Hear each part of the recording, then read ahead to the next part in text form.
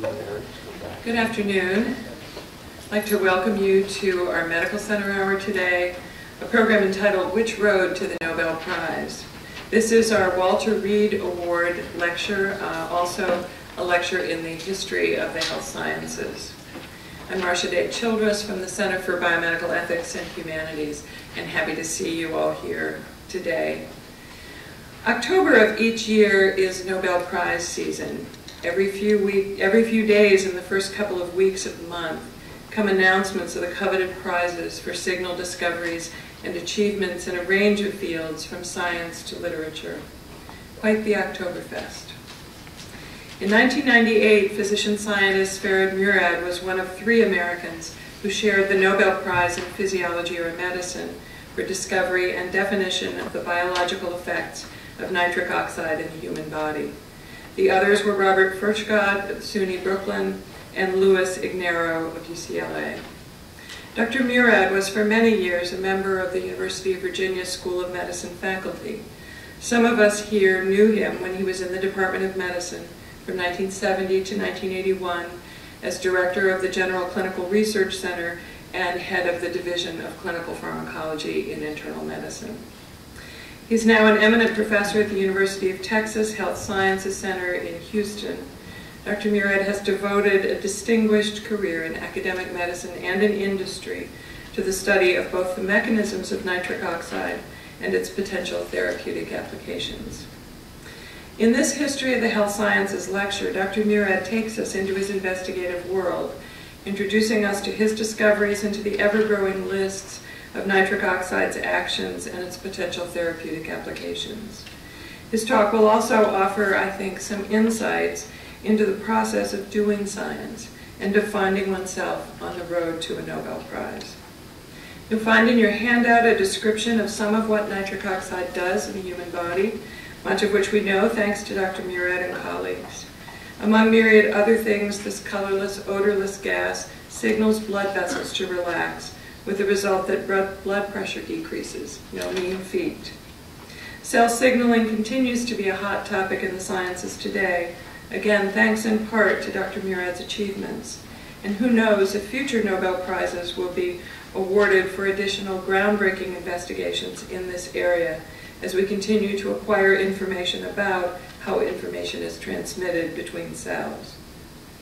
We welcome Dr. Murad back to UVA from the University of Texas Health Science Center, where he is, and I have to take a deep breath here because he has many titles, Regental Professor and John S. Dunn Distinguished Chair in Physiology and Medicine, Texas Nobel Scholar at the University of Texas at Houston, Director Emeritus, Brown Foundation Institute of Molecular Medicine for the Prevention of Human Diseases, and director of the aforementioned Institute's Center for Cell Signaling. Before we hear from Dr. Murad, though, I'd like to invite Barry Collins, the executive director of the UVA Medical Alumni Association, to come forward. On behalf of the Medical Alumni Association, Mr. Collins will be presenting Dr. Murad with the Walter Reed Award, named for one of UVA's most accomplished medical graduates. You'll also find in your handout a more complete biographical sketch of Dr. Murad. Barry.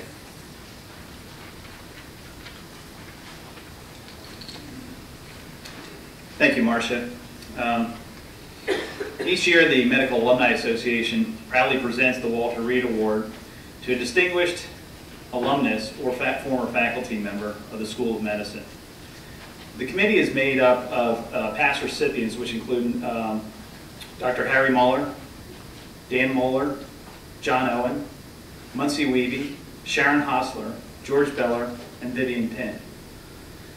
I am honored today to present this award, in addition to all the other accolades and accomplishments that Dr. Murad had, uh, on behalf of the University of Virginia Medical Alumni Association and School of Medicine. So, Dr. Murad, I'd like to present you with our award today.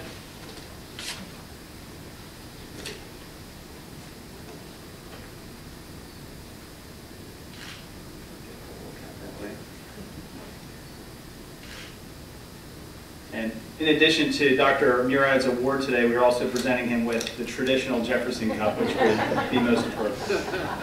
Thank you, Dr. Murad.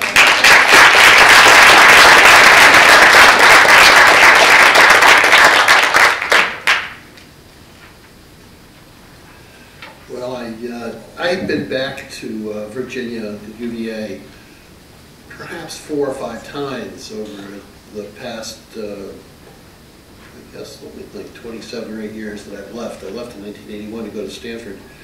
Uh, So I have been back a few times. The last was perhaps four or five years ago to give some lectures. And it's always a treat to come back and see lots of friends and see Charlottesville. It's absolutely gorgeous, certainly when you compare it to Houston.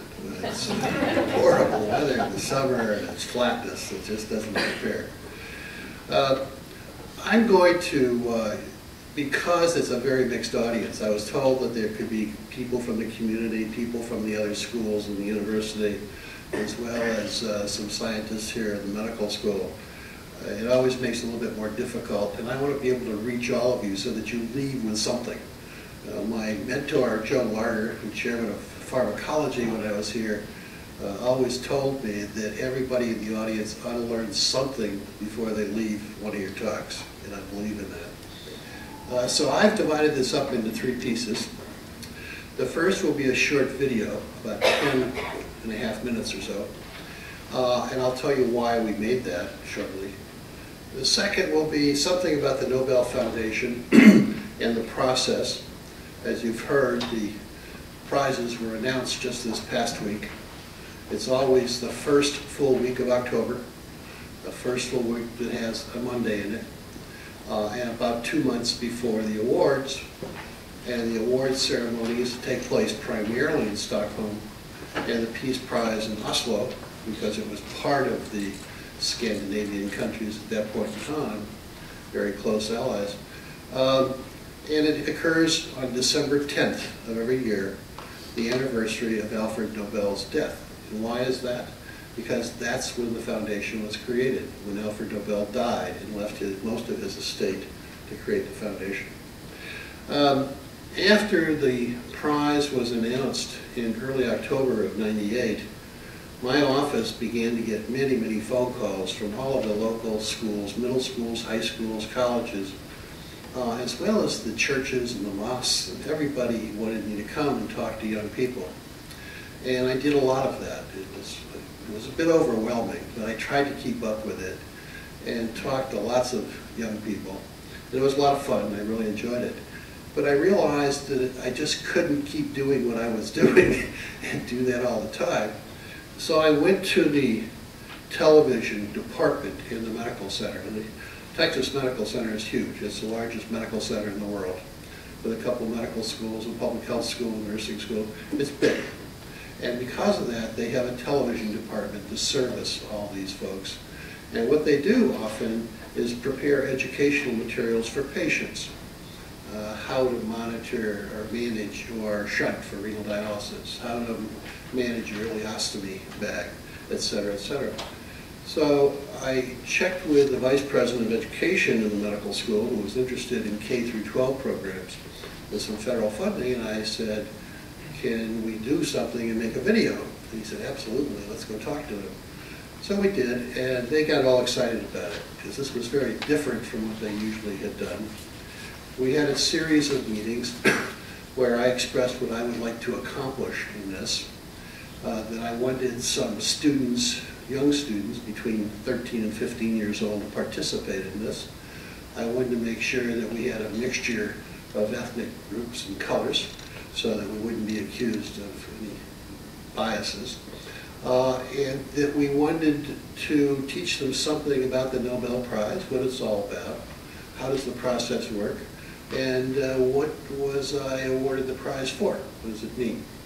And so we did this with dialogue back and forth, back and forth, and I edited the scripts. And ultimately, after a few months of this, they showed up at my house on a Saturday morning with several young students, which you'll see in the video.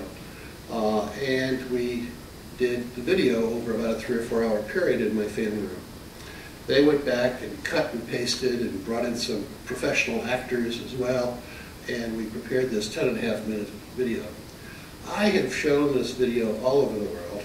Uh, I've shown it to people as young as four, five, six years old. Uh, my grandson at the time was four. He memorized all the lines. I'll tell you some cute stories about this later on. as to how he went to the library and asked the librarian for a book on nitric oxide. She didn't know what he was talking about. he went to the dentist, or he went to the doctor to have his tonsils taken out, and the doctor said, I'm going to give you nitrous oxide. He said, no, you mean nitric oxide. well, it was nitrous, nitrous oxide. Um, but I've also showed it to people in their mid to late 80s at one of the country clubs for a breakfast meeting.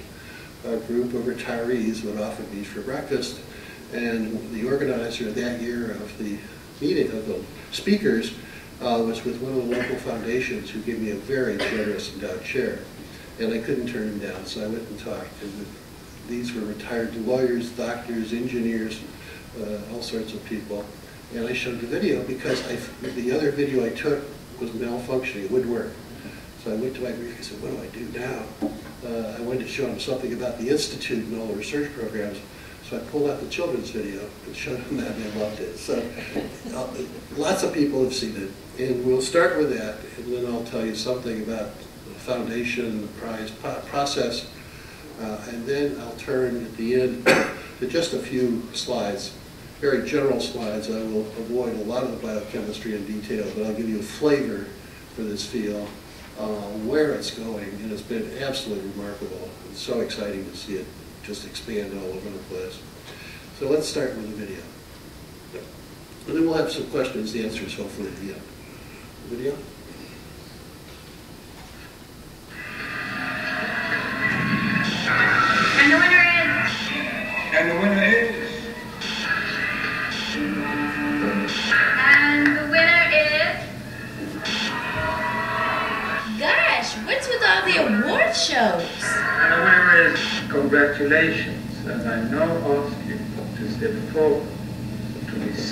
Nobel Prizes. Nobel Prize? What's that? Beats me. What? You don't know what the Nobel Prize is? We're going to have to do something about that. Whoa! What's up with this? The dude's coming out of the TV. It's like Alien. May I? Yeah, sure, why not? So, uh, what's your story? Well, my name is Ferid Murad. You can call me Fred. I'm a doctor and a researcher and a scientist at the University of Texas Houston Medical School.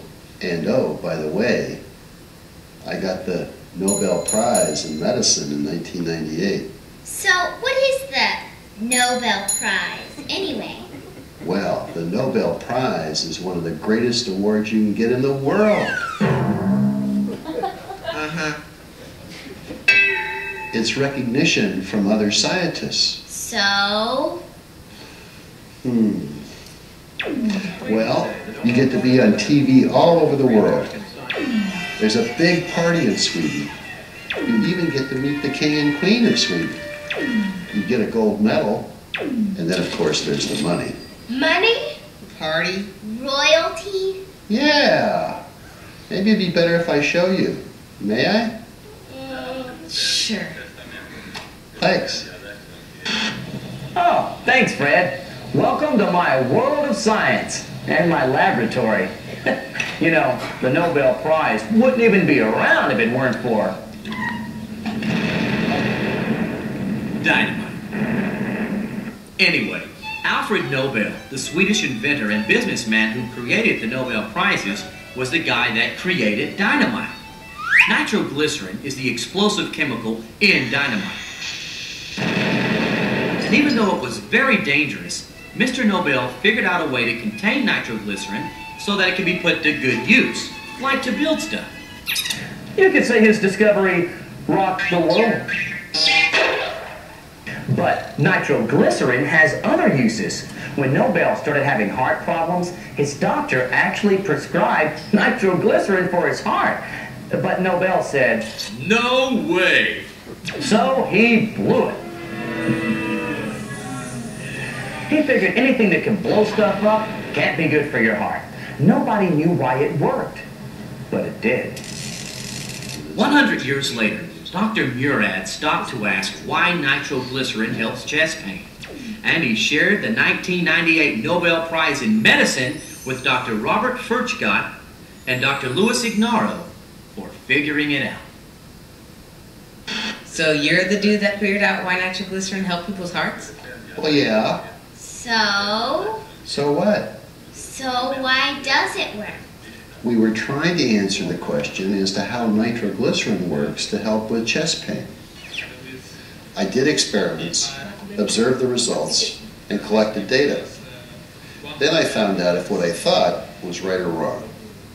Anyway, what I did find was that nitroglycerin releases nitric oxide, and that nitric oxide does a lot of important stuff in the body. So what is nitric oxide, and what exactly did you figure out about it that got you this Nobel Prize? Let me show you. It protects the heart, it stimulates the brain, it kills bacteria, and it's a real gas. It's nitric, nitric oxide. No one can say no to NO. Nitric oxide, or NO, is a simple molecule with two atoms, nitrogen and oxygen. And yes, it's a colorless, odorless gas. A scientific sensation sweeps the globe. Nitric oxide is everywhere. This common and toxic pollutant depletes the ozone layer. It's even found in car exhaust and cigarette smoke.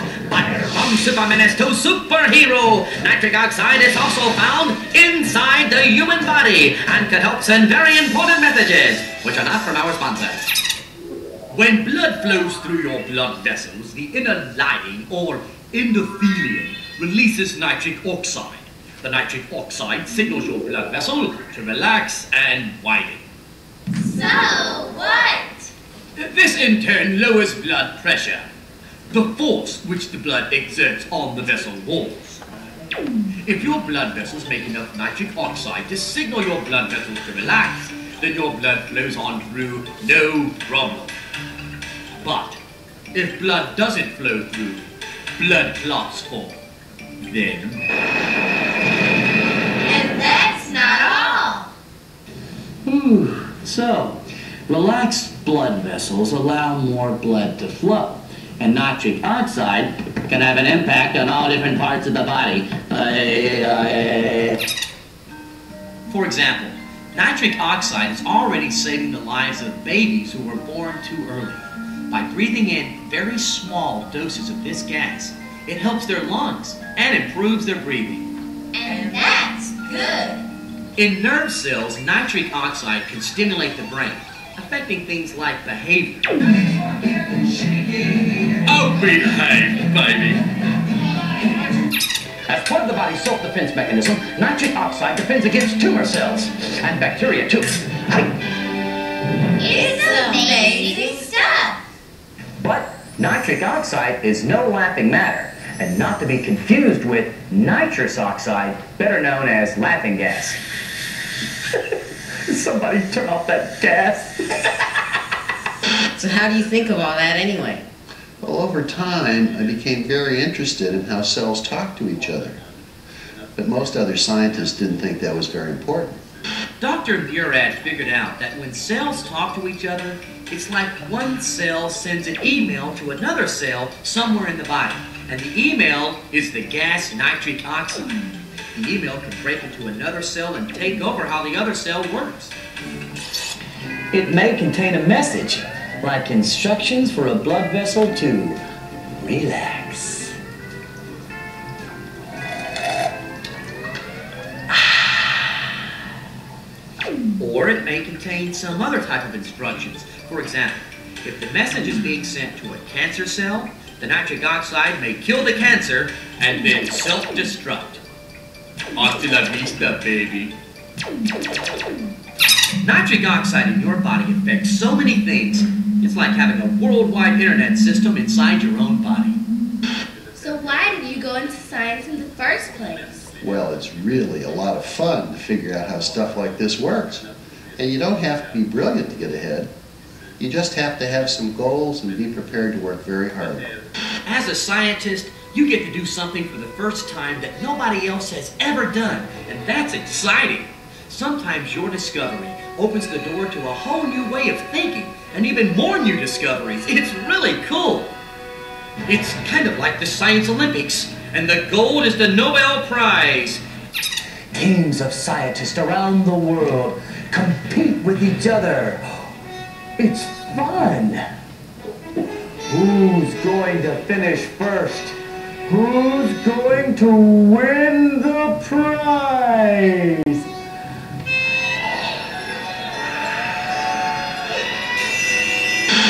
One of you could be a Nobel Prize winner someday. Who knows? Hey, I had some more questions. Yeah, me too. Well, I guess we'll have to find out more on our own. Maybe we could check the internet. Yeah, and look up science and the Nobel Prize.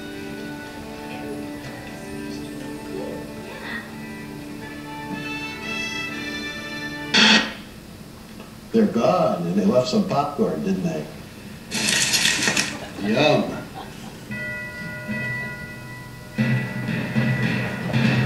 Dominant toxic Well, I hope you enjoyed that. Uh, It was, it was fun to make, it was cute, the kids love it, the elderly folks love it, they learned something, I hope.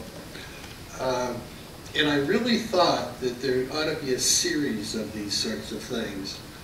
And if I ever had the time, I'd convince a lot of other Nobel laureates to do such a thing, make a package of these, maybe for, you know, Nova or one of the educational channels or who knows what.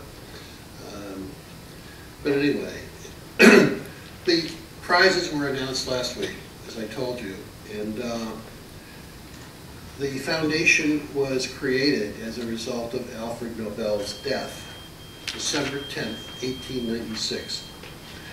Before he had died, he wrote a handwritten will saying that he wanted the major portion of his estate to go to create this new foundation and new group of prizes. And there were six prizes that uh, he established. I think, five or six, five. Uh, medicine, physiology was one prize. Uh, chemistry, a second. Physics, a third. Literature, a fourth. Uh, and peace was the fifth.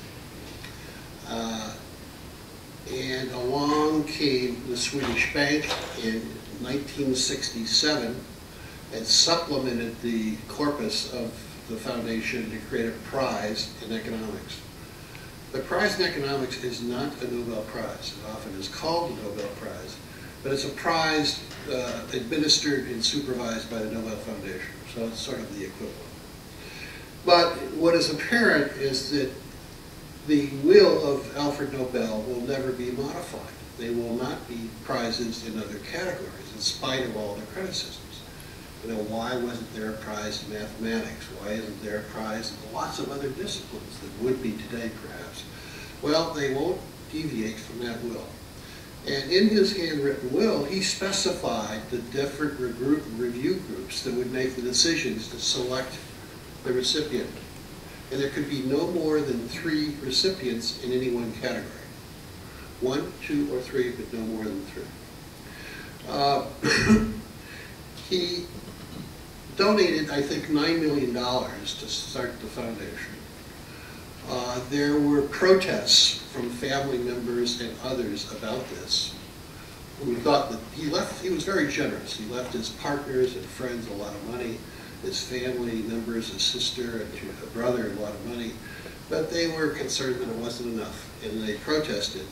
But fortunately, he had a very talented Indian secretary administrator who was very loyal to him.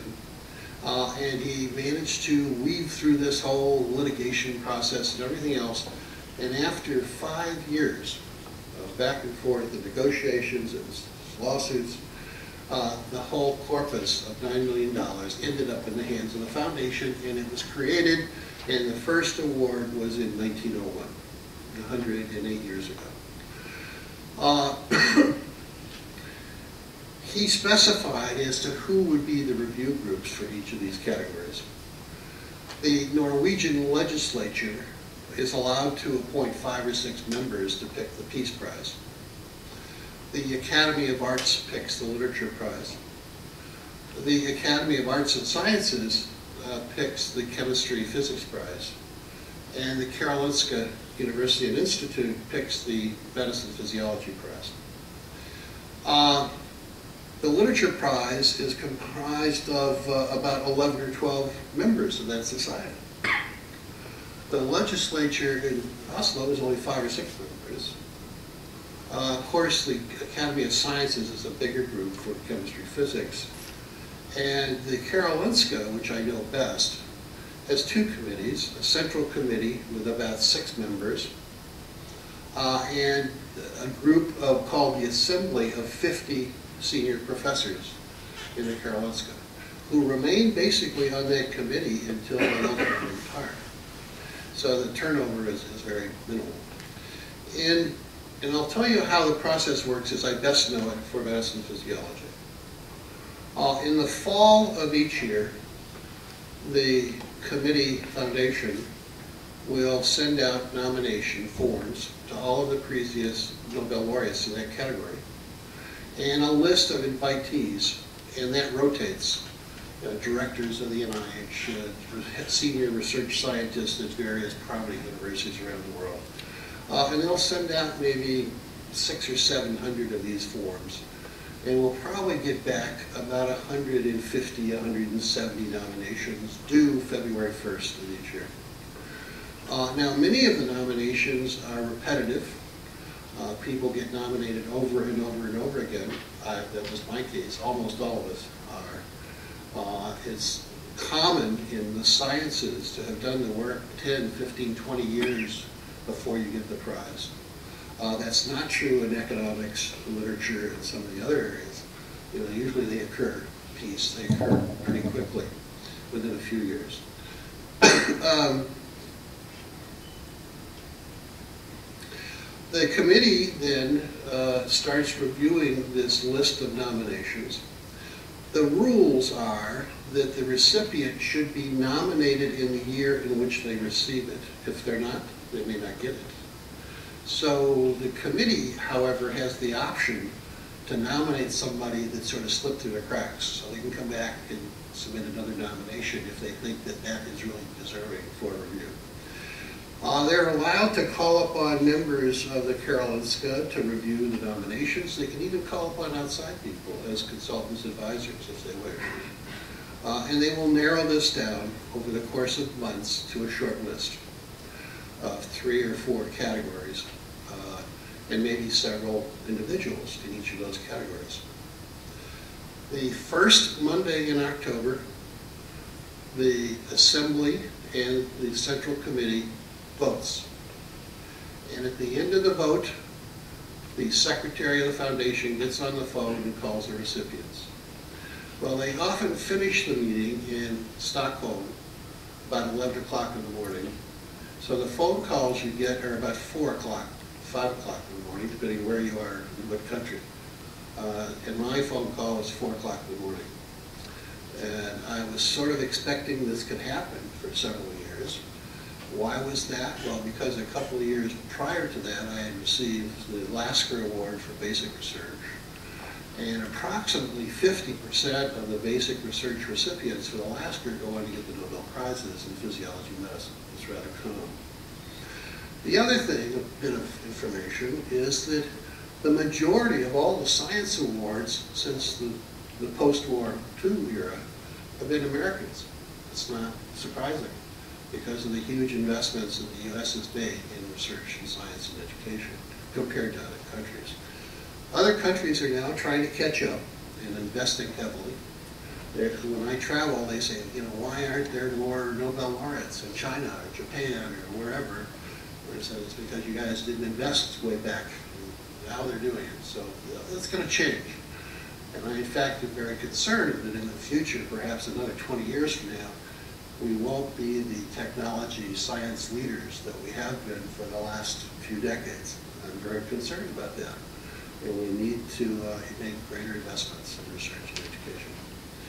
Um, let me tell you a little bit about Alfred Nobel. His father was sort of a self-made chemical engineer, if you will, who made landmines. And he made a lot of money, but he lost a lot of money. And his landmines were being sold to Russia for some of the wars that Russia had. Uh, so Alfred Nobel, two brothers and a sister, grew up in this environment. The family was pretty prosperous with his father's business. Uh, he was educated in multiple places, Paris, St. Petersburg, Italy. Uh, and he later had homes in various places and fell in love with primarily Italy, where he ultimately died. Um, but he, nitroglycerin was first synthesized by Italian chemists in the 1840s.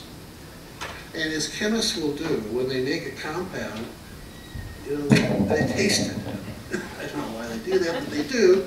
And they discovered that when they taste it, they got a vascular headache, vasodilatation, like a migraine. Well, this then led others to think about the possibility of using this for chest pain, angina pectoris. And sure enough, in the 1870s, it was introduced as treatment for angina. And it was used for 100 years for angina, not knowing how it worked, uh, until we came along in the 1970s here in Virginia and figured it out. And I'll tell you a little bit more about that later. Uh, but Alfred Nobel decided that he would work with nitroglycerin because of its explosive properties. However, it was too explosive to make it in large quantities. So he figured out that if he mixed it with a diatomaceous earth like clay, he could make dynamite, which you can throw on the floor and kick it or whatever, it won't blow up until you detonate it with a cap or a lighter fuse and blow it up, okay? And he made an awful lot of money making dynamite and selling it all over the world for tunnels, roads, silver mines, gold mines, et cetera, et cetera. And this was all in the late 1800s. Um, why did he get interested in the Nobel Prize concept? I don't think anybody knows. Uh, he wrote that handwritten will very late, the last year or two of his life, actually. Uh, he had angina. He was prescribed nitroglycerin.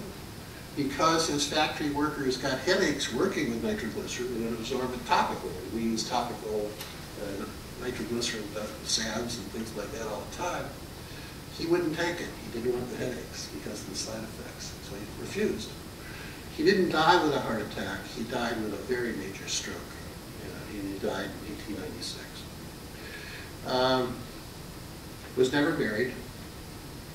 He had no children to speak of, but he did have a young friend who he looked after. Not thought to be a lover, but you never know. And he took care of her. In fact, he bought her clothes and jewelry and paid her for her apartment in Paris and things like that. But ultimately, she left him, returned to Vienna, and married a police officer or, somebody in the military. Uh, so there's some really interesting books about Alfred Nobel that I've gone through what I have time to learn the history. Uh, but what a concept it was. And I'm sure he had no idea what he was accomplishing by having done this. But if you look at that today, that $9 million is probably about 350 million or so, I think. Uh, rather modest amount of money in terms of its impact on education and research all over the world and motivating young people and scientists.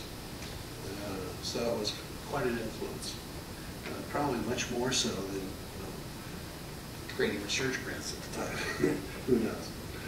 Um, so there we are. Uh, I think the, uh, the Nobel Prizes end up changing your life.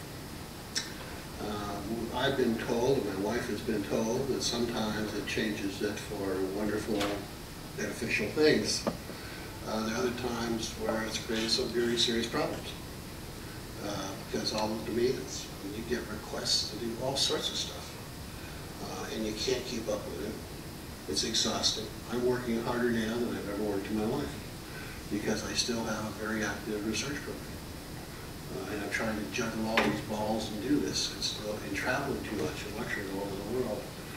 And I turn down lots of things, but it's very hard to turn down things, particularly if they're requests from friends or previous trainees. You know, so a trainee has a meeting in, in Australia or Japan or wherever. They want you to come. and get involved.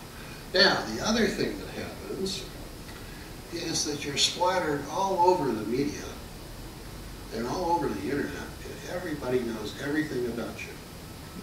Uh, we are all required to have autobiographies, as we're talking about. That autobiography is published along with our lecture, and it's signed. I have found companies lifting that signature out of that book, putting it on their products and promoting products. Know, and uh, that's not appropriate, it's not fair, it's illegal, uh, but that's what they do. So lots of people out there playing games. I've had to sue several companies. I've had to write nasty letters to others to get them to stop doing this. Um, Anyway, so it comes with a lot of fame and excitement, but it comes with a lot of grief and agony as well. Uh, So let me now show you a little bit of data. I call it soft science. I'm only going to hit the, the highlights and the pathways for you, and then we'll have some questions and answers. So if we could, are there any questions at this point, or we can come back to it, whatever you'd like to do? Okay. Um, Let me tell you that there are, since 1901, approximately 750 Nobel laureates, and currently about 180 or so living um, all over the world. Uh, But the U.S., as I said, has a huge complement, more, more than most places. Let's see the, uh, the slides. Okay, I'm going to advance some of these now. We're just going to be selective here. This sort of was the email thing that you saw in the video. These are cells talking to each other and how molecules are made by one cell. Earl Sutherland called them first messengers. We give them other names today. They're called hormones, neurotransmitters, autocoids, paracrine substances, growth factors, cytokines, a variety of names. Uh, and what they do is they home in the body to go find a target, interacting with a protein in that cell surface, we call it a receptor, and that's where the specificity of the interaction takes place, to often result in the accumulation of an intracellular messenger molecule. Some would call them second messengers. um, and there are a handful of these. There, there are hundreds and hundreds of first messengers and a modest number of intracellular second messengers, perhaps seven, eight, nine so far. And there'll be a few more, I'm sure. Uh, and many of them have resulted in Nobel Prizes in the past. Well, nitric oxide is one of these messengers, and it does lots of things. It not only works in the cell in which it's made, but it comes out very easily and readily to go to adjacent cells or distant cells, so it functions also as a, a local paracrine substance, or it can be called a hormone. You go to a distant cell type and regulate it as well.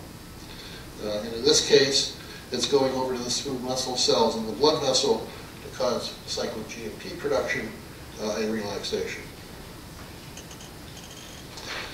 This discovery of cyclic GMP was occurring uh, in the mid-1960s. It stimulated research in a few laboratories. This was going on about the time I was doing my postdoc at NIH, uh, where laboratories got excited about cyclic GMP, a cousin of cyclic AMP, as another potential messenger molecule, and started looking for enzymes that made it, enzymes that inactivated it, and enzymes that might be targets for mediating various biological effects. And sure enough, uh, there were enzymes called guanylyl cyclases that made it. And there are about seven or eight isoforms of this. And I've spent my life chasing these enzymes, purifying, cloning, and understanding their regulation. Uh, and they're very homologous, and they're catalytic domain with adenylate cyclase, which makes cyclic AMP another important messenger. Uh, and the soluble guanylate cyclase is the target we discovered for nitric oxide. And I'll say a little bit more about that.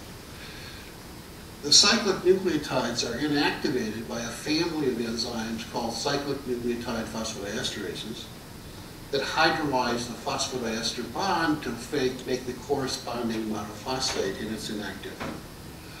There are 11 gene products or members of this family.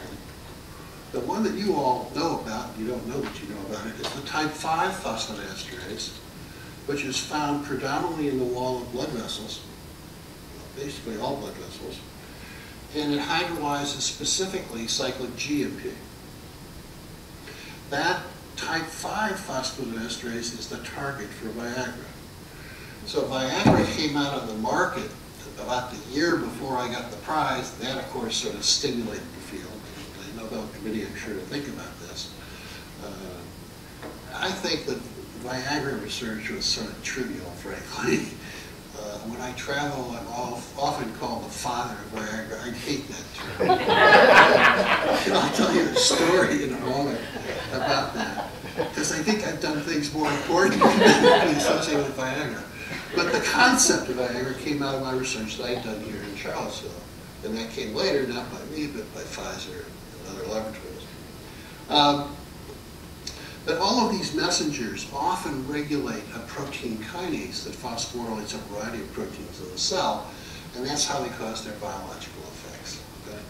Now, I don't want to get into a lot of detailed biochemistry and lose you, but this is the, the concept of signaling, and I've been involved with this forever, as well as Larner and other people here, Ted Rall, who was one of my mentors uh, and is now retired.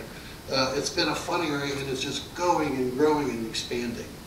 Uh, and it's been, this whole field of signaling has been so responsible for lots of awards, you know, not just Nobel Prizes, but other things as well.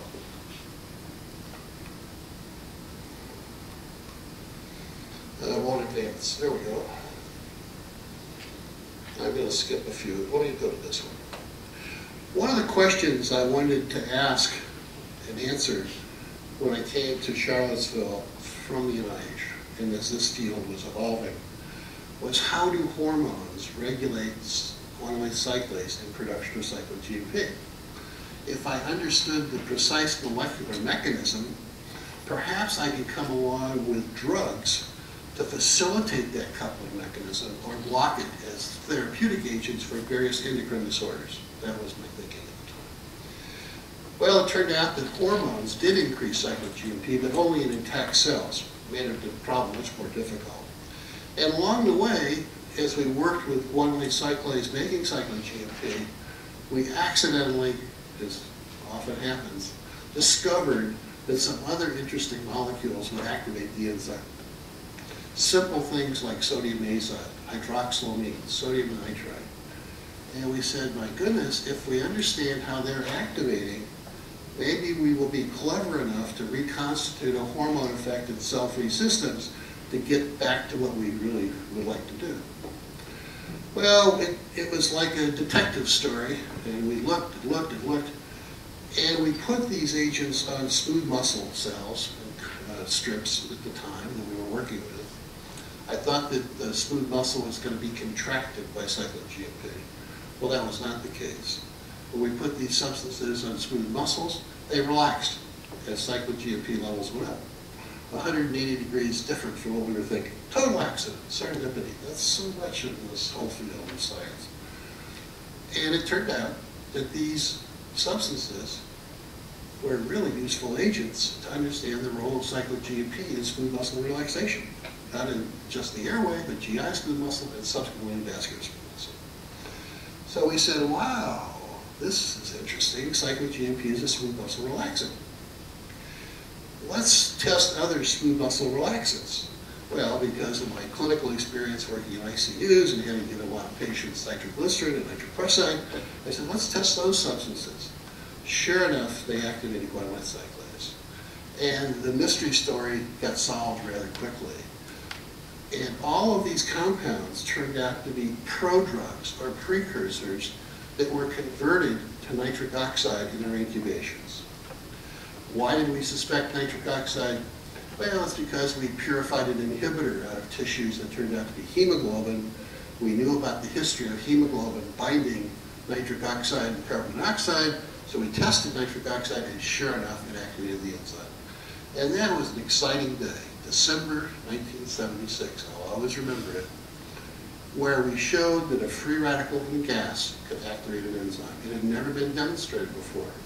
And I really recognize the importance and the fun that this was going to be to figure out the chemistry and use it as a, a tool. And uh, that sort of took us in a lot of directions at that point. We proposed in a subsequent review article, a couple actually, that nitroglycerin worked by being converted to nitric oxide, and that's how muscle, smooth muscle relaxes. And that's the mechanism. We also said if nitric oxide is responsible for nitroglycerin effects, could it be responsible for hormonal regulation of cyclic GMP production? And therefore, could it be an intracellular messenger molecule? That was heresy. A free radical activating enzyme was a big surprise. Most people sort of put their tongue in their cheek and said, well, they're know. But then we said it's a second messenger present normally in tissues. Wow, that was heresy. We turned out to be right, but it took a few more years to prove it, as things often go, because the concentrations required were just so low that we couldn't measure them until we developed new technology.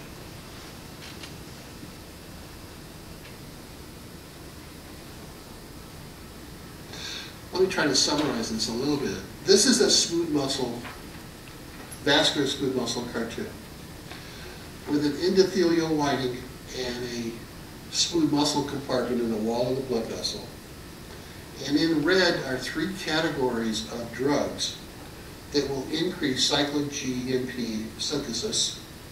And all of these drugs are vasodilators. The nitrovasodilators get converted to nitric oxide some enzymatically, some spontaneously. They activate guanylate cyclase, make cyclic G. That activates a kinase to phosphorylate a lot of proteins, some of which are associated with relaxation. And I won't go into details. There are other drugs that only work in the presence of the endothelium. They're called endothelial-dependent vasodilators. And the reason that you require endothelium is because those are the cells with the receptors the smooth muscle don't have receptors for those hormones and drugs. That was Furchtgott's discovery. And he gave that lecture here at UVA in the spring of 1980 while I was still here. And I was so excited because there was a substance coming out of the endothelial cells that he called endothelium-derived relaxin factor that was very labile. It had a half-life of a few seconds. And I cornered him afterwards. I took him off to my office in the old medical school building and said, Bob, this is going to be a free radical or some reactive species, maybe related to nitric oxide, but I'm sure it's going to work through cyclic G. And sure enough, it did. Uh, we proposed to collaborate, but we never ended up collaborating because I moved to Stanford. His wife developed cancer, and he was distracted for some period of time. So these endothelial-dependent vasodilators produce EDRF, endothelial-derived relaxin factor, which turns out to be nitric oxide. And that then moves over to the smooth muscle, makes cyclic G, the cascades turn on, the smooth muscle relaxes. The third category are the atrial atriopeptides. These are peptides produced initially in cardiac atrium and now in other tissues as well. They activate the particulate isoforms of guanylate cyclase. And there are about six of these particulate isoforms. And these are receptor cyclases with a receptor domain on the outside, transmembrane span, and a catalytic domain on the inside. So they too make cyclic G, they cause relaxation.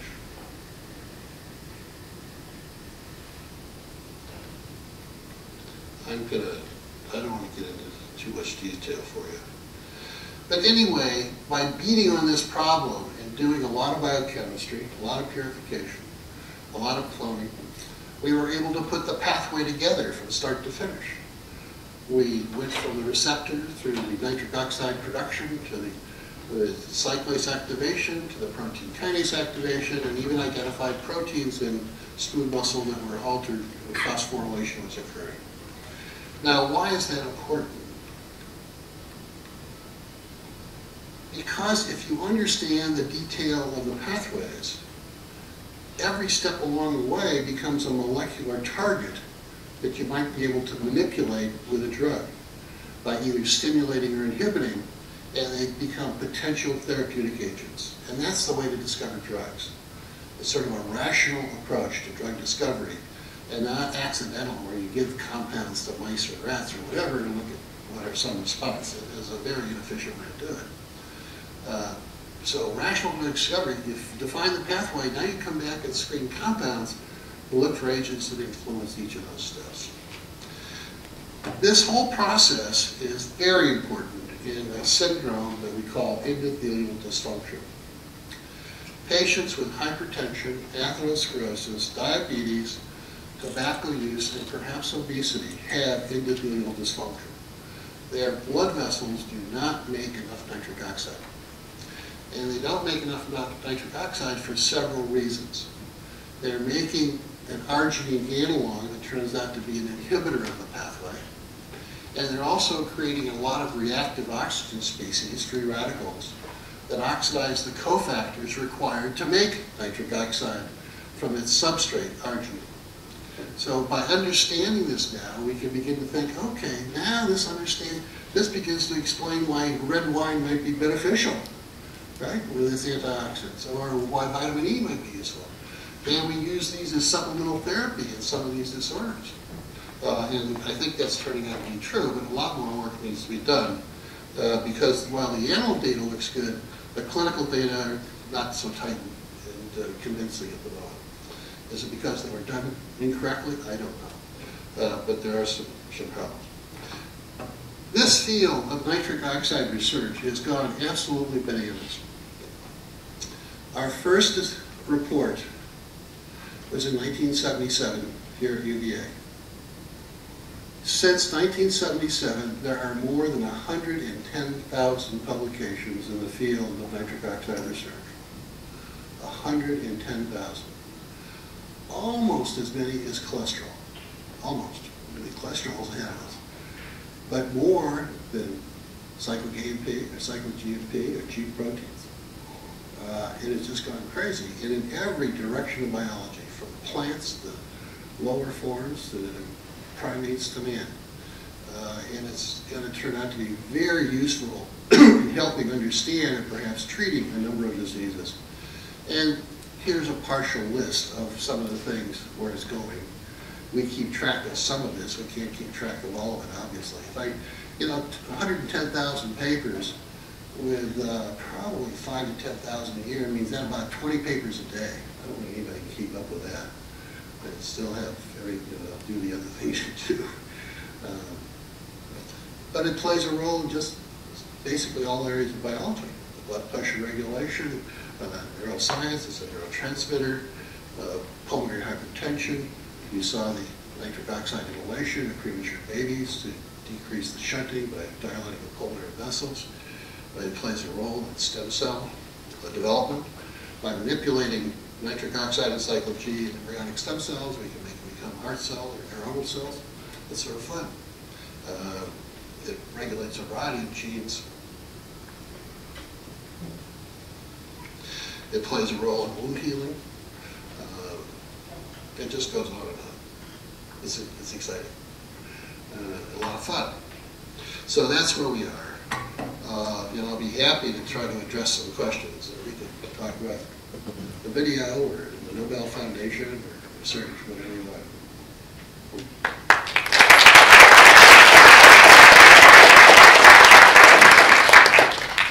Okay, we have some time for your comments and questions, and I'll ask you please to identify yourself when you ask your question. Fred? Yes. Uh, John Owen, I want you to know, and I'm sure it goes without saying, that we at UVA are tremendously proud of the uh, reflected glory we have achieved from having had you do your work of such importance at this institution. Now, my personal opinion is that you could have gone to any medical school in the country, perhaps in the world, and you would have found it an opportunity to do the same work, maybe even faster. But on the other hand, I know that you have been consulted by many medical schools who have not produced a Nobel laureate, and they may have asked you, what's the secret that a medical school has to know in order to have uh, great science come from it? What's your answer to questions like that? Well, I, you know, John, I think you've got to have the resources and the talent. And most of the talent comes from young people working with you. Uh, you know, the space that we worked in was pretty grubby old space. I concluded that that probably doesn't matter. You know, the, the, quality of the space, as long as you've got enough to get everybody accommodated to do your work. Uh, and the other, of course, is the environment. I mean, to have people like Larner and maybe the faculty in pharmacology and medicine interact with, that was very, very important. You know, test ideas. You know, whether they're right or wrong, it's the fact that you got somebody to listen to what you're doing and give you some feedback. Tell you that's stupid when you're at, or that's interesting when you're at, or whatever. It's a combination of things, John. And a lot of it is serendipity and luck, no doubt about it. You know, you stumble into something and you say, wow, should I go this way with it or should I go over here with it? And at the time, you really don't know which way to go. So you, you sort of take the smell along the way and figure it out, like an old town dog. I'm Bob Chevalier in pediatrics. I enjoyed your talk and your movie, and uh, got me to thinking of uh, what you feel the role is of scientists, uh, particularly in America, in explaining science to the public and to children, to youth. I'm concerned that the current uh, numbers suggest that over half of Americans don't believe the evolutionary theory is, is uh, valid uh, and how you think America can maintain its preeminence in science uh, without more efforts of scientists to, to disseminate this to the public. Yeah, good questions. Um, One, I think to maintain our leadership, and I told you I'm concerned that we might be slipping, uh, we've got to just continue to invest very, very heavily education at all levels, and certainly in the early years, because that's when people are influenced. It was between the ages of probably 8 and 12 and 13 that you really get people turned on about science or whatever. Um, Later on, it's almost too late. Uh, But we've got to invest more heavily in research, and for the past decade, we've slipped an awful lot. You know, we've doubled the NIH budget, that was wonderful, but they don't realize the problems that that has created now, because it hasn't increased since. We've got a big pool of young people who are struggling to survive and get funded, uh, and becoming very, very discouraged, which is sad. Uh,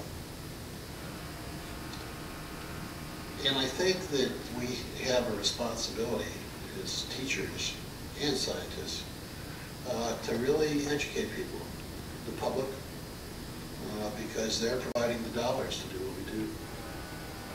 There are very few professions who have, I think, as much fun as we do. Uh, Have you ever met a lawyer who's excited about going to work? I haven't. How about a businessman, a CEO? Uh, I think it's fun.